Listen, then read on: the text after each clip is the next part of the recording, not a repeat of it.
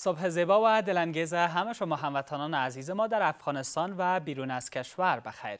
به ساعت سوم برنامه صبح زندگی باز هم خوش آمدین. در این لحظات از برنامه هم مهمان خیلی عزیز و گرامی با ما هستند کسی که نویسندگی می‌کنند و کتاب را هم تحت عنوان صلح جهانی اینا تعلیف و نویسندگی کردند که از ارزش و اهمیت خیلی خاص برخوردار است و محتویات که درج این کتاب کردند می‌خواهیم که صحبت های بیشتر داشته باشیم با جناب محترم حفیظ الله اکرمی. بسیار خوش آمده صحبتان بخیر.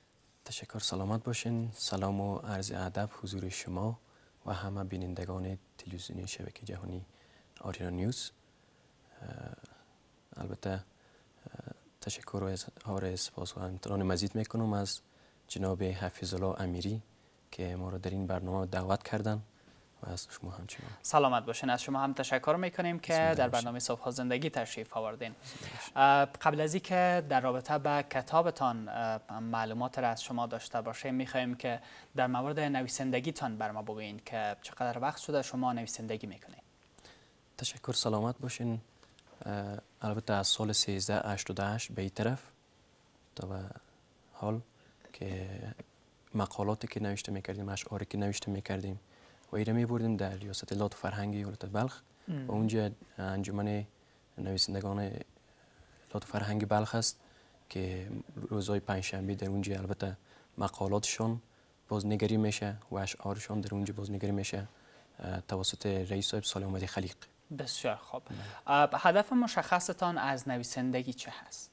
هدف مشخص ما البته آنچه که ما می آموزیم و تحلیل می‌کنیم از اندوخته های علمی ما, ما تا بتوانیم چیزی که آموختیم و به دیگران بیاموزانیم و هدف مشخص ما است که ما باید در جامعه تبارز کنیم و مبارزه بکنیم و هدف ما همی است. که حقیقت برای تمام افراد جامعه برسانیم. خیلی عالی. کیها در قسمت نویسندگی با شما همکاری داشتن تا به حال و آیا الگوی مشخص هم شما داشتین؟ بله. البته کسی که مرا حمایت کرده زیادتر در رابطه به نویسندگی بله. جناب استاد سیف الرحمن روحانی است استادیم است. بسیار استاد معتصم بالله مذهبی است و دکتر سوی امین سروش است. آیس عبدالکریم بلخی است و سالم محمد خلیق رئیس اداره فرهنگ بلخ است. بسیار و زیادتر حمایت همه جانبه که مرا کرده استاد معتصم بالله مذهبی است. بسیار خوب. این کتاب را که شما تعلیف کردین به نام صلح جهانی. اولین کتاب است که شما نویسندگی کردین یا قبل از این هم کتاب های داشتین. بله اولین کتابی است که تعلیف کردیم. مدت 6 سال بالای ازی کار کردیم. تا توانستم به همکاری استاد عظیم میره چاپ بکنم و دانشمندا و نویسندگان و محصلینی که آمدن رونمایی از این کتاب ما برگزار کردیم. در کتابخانه فردوسی ولایت بلخ. بسیار خوب. محصل... کدام محصلین بیشتر می‌تونن از این کتاب شما بیشتر استفاده خوب بکنن و در قسمت تحصیلاتشان می‌تونه کمک کننده باشن زیادتر محصلینی که می‌تونه از این استفاده خوبتر بتونه از دانشکده حقوق علوم سیاسی است. دانشکده شریعت می‌تونه دانشکده فلسفه همچنان. روابط بین الملل می‌تونه از استفاده بکنه. بسیار عالی. بیشتر محصلینی که به ارتباط می‌گیره به رشته های سیاسی و بله، رشته های بله. حقوقی. بله. این کتاب می‌تونه برشون بسیار کمک کننده باشه. بله. خیلی خوب. در مورد موضوعات عمده که در کتاب شما درد شده میشه بر ما معلومات بتین که کدام موضوعات عمده شما بالش پرداختین. تشکر. فصل اولی از این کتاب است فروپوشی وحدت اسلامی با تداوم حالات کنونی است. که علامه اقبال ما تونستم از نظریات علامه اقبال رحمت الله علیه که یکی از شاگردای مکتبی مولانا جلالدین بلخی رحمت الله علیه است بله, بله. تونستیم نظریات از او دانشمند او عارفه دیگه گنجانده بسازم. علامه اقبال می‌گوید که قوم را اندیشه ها باید یکی در زمیرش مدعا باید یکی. میگه تماما اقوام فکرش مفکوریش اندیشش یکی باشه. بله. و زمیرش اخلاقش ادبش هم یکی باشه. تا بتونیم ما جوانا را برای جوانا یعنی ذهنیت سازی بکنیم انگیزه بتیم که یعنی اصلاح فرد علامه فیضانی رحمت الله در چین موارد میفرماید که نخست اصلاح فرد و افراد جامعه سالم باید به وجود بیاید. بله. یعنی بالای اناتومی معنوی انسان کنیم کار کنیم. که باید انسان صالح و سالم در جامعه تقدیم کنیم.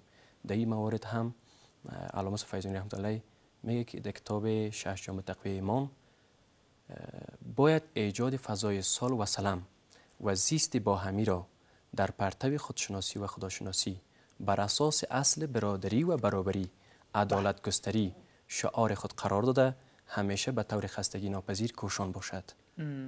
و تعریفاتی که در رابطه به چنین موارد کردیم صلح به معنی آشتی از سازش و دست کشیدن از جنگ است.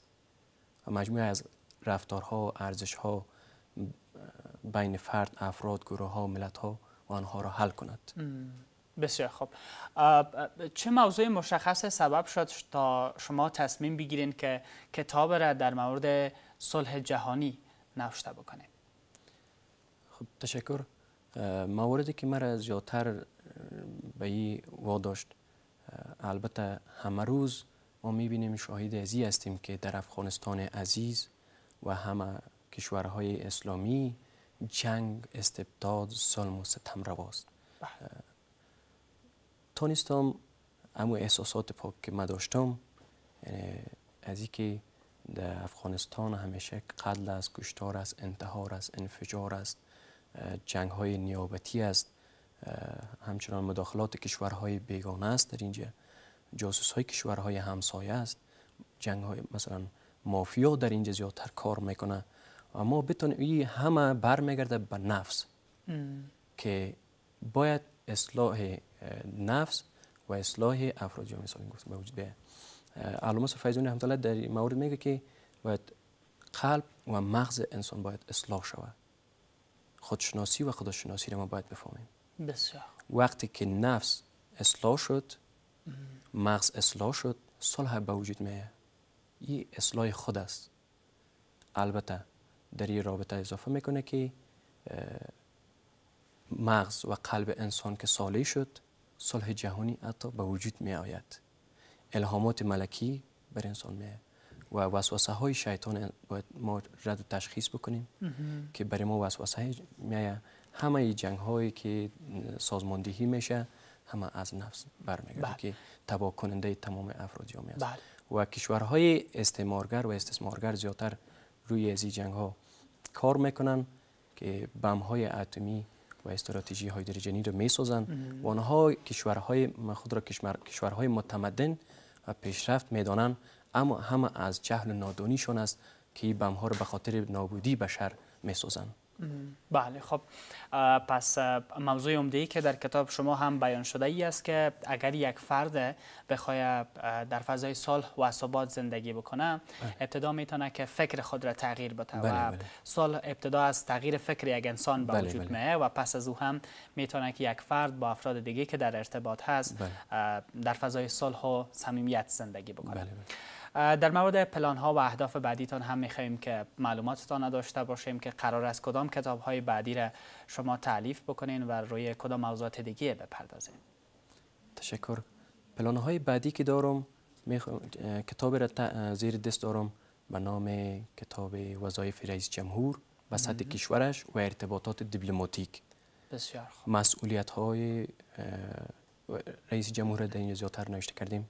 صلاحیت های رئیس جمهور و روابط منطقی و بین که داره و همچنان کشورهای منطقه کشورهای اروپایی که در افغانستان عزیز مساعدت های کمک های مالی را می‌کنن.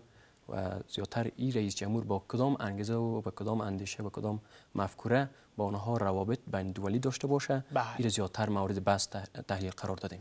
بسیار خوب. در قسمت تعلیف کتاب هایتان بیشتر از کدام منابع و ماخذ استفاده می‌کنین؟ بیشتر منابع داخلی هست کتاب هایی که در افغانستان نوشته شده یا بله. هم از منابع کشورهای بیرونی هم استفاده می‌کنین؟ منابعی که زیادتر در این مورد استفاده می‌کنم که از نظریه مکتب اسلام است که با آیات و حدیث پیامبر صلی الله علیه و سلم است. و بعد از اون ما می‌تونیم که این تفسیر و تحلیل و تحلیل استدلال بکنیم و بعد از اون نظریات دانشمندا رو بیاریم و منابعی که ما در استفاده می‌کنیم کتاب های داخلی هسته و کتاب های همچنان خارجی است که ما می‌تونیم نظریات دانشمندای غربدهی موارد می‌تونیم آورده و بسیار خوبتر می‌تونیم علمی و منطقی بیایه. در این کتاب ما هم از نظریه مکتب اسلام آوردیم و هم از نظریات مکتب کمونیسم و سوسیالیسم و فیدرالیسم آوردیم بله این کتاب میشه برمبتین ما بله. یک بار می‌خوایم که کتاب ببینم که کدام موضوعات و چگونه درس شده واقعا که تصویری که در عقب از این کتاب هست سمبل است صلح هست کبوتر که واقعا نشان دهنده صلح هست و همیشه در روزهای جهانی صلح بله. و برنامه هایی که بیشتر به خاطر صلح دایر میشه. سمبل کبوتر استفاده بله. می‌کنن. خب صفحه های این کتاب هم روی موضوعات مختلف اشاره شده درش. بله. و چندین فصل. چند فصل داره مکمل؟ چهار فصل است. چهار فصل. بله. و چهار فصل و چهار موضوع. بیننده عزیز هم می‌تونن که همین لحظه تصویر این کتاب را داشته باشن. این کتاب را علاقمندا از کجاها می‌تونن پیدا بکنن؟ در کتاب کتابخانه بین‌المللی نمایشگاه رای سعادت. بسیار خوب. بله در ولایت کابل هم است ولایت مزار است. جلالاباد است. در هرات است. در هرات روبروی دانشگاه هرات که به نام کن فرهنگی علامه فیضونی است. می‌تونن از اونجا به دست بیارن و از اینجا هم از ولایت کابل می‌تونن از کتابخانه بین راه سعادت به دست بیارن.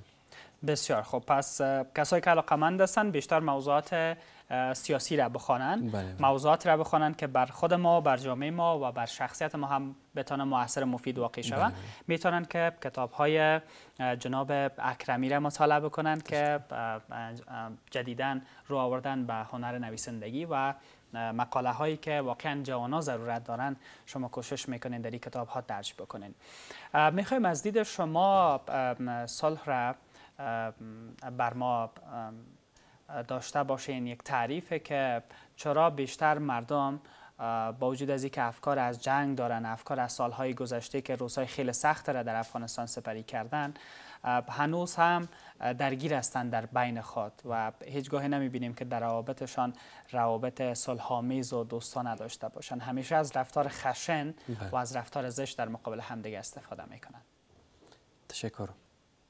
در این مورد هم الله تبارک و تعالی میفرماید که و صلح خیرون سوره نساء 29 صلح کار خیر و بهتری است. یعنی نزاع و منازع و درگیری تنشزا که بین دو فرد صورت می‌گیره و ما فردی که یک می‌تونیم در بین او دو شخص اصلاحیت را به وجود بیاریم و در بین آنها صلح کنیم و همی قسم در بین کشور. ما تحلیل می داشته باشیم که یا کشور پاکستان وقت جنگ به وجود میایه ما در اینجا میانجیگری کنیم و حتی یک کشور بیطرف می‌تونه که در این میانجیگری بکنه. که چرا این دو کشور همیشه درگیر همدیگر هسته و آنها همیشه کسایی را در اینجا تربیه می‌کنن روان می‌کنه که انتحاری می‌کنن. بله. در ذهن آنها پیچکاری میشه.